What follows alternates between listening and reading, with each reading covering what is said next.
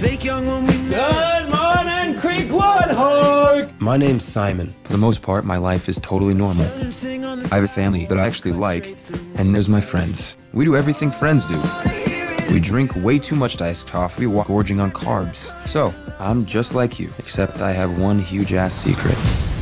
Nobody knows I'm gay. Have you seen the new post? About the closeted gay kid at school. What? Who do you think it is? Can I call you back?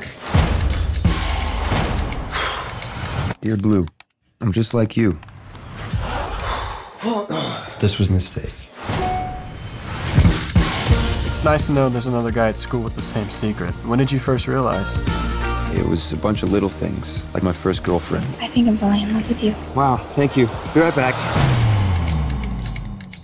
Wasn't my proudest moment. Sometimes I think I'm destined to care so much about one person it nearly kills me. Me too. I'm done living in a world where I don't get to be who I am. I deserve a great love story. And I want someone to share it with. But to find any way to your wild heart. Have you ever been in love? I think so. These last few years, it's almost like I can feel you holding your breath. I'm supposed to be the one that decides when and where and who knows. That's supposed to be my thing. Disclaimer. This is about to get romantic as F.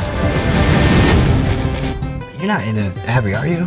She's cute, but she's just not really my type. Mm. Not because she's black. I love black women. Not like, you know, I have a thing for black women. I just I just I just love all women.